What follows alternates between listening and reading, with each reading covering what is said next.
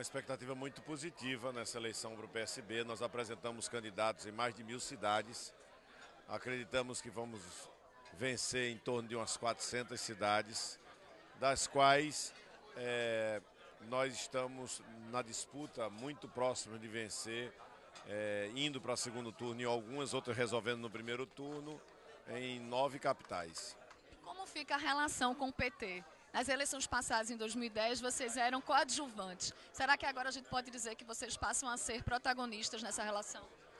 Não, acho que a relação não se altera em absolutamente nada. Nós estamos fazendo, ah, ocupando o espaço político que existe na opinião dessas cidades, apresentando as propostas do PSB e fazendo o partido crescer. Eu acho que o PSB crescer faz bem para o Brasil e faz bem para a aliança que a gente tem hoje, que dá suporte ao governo da presidenta Dilma.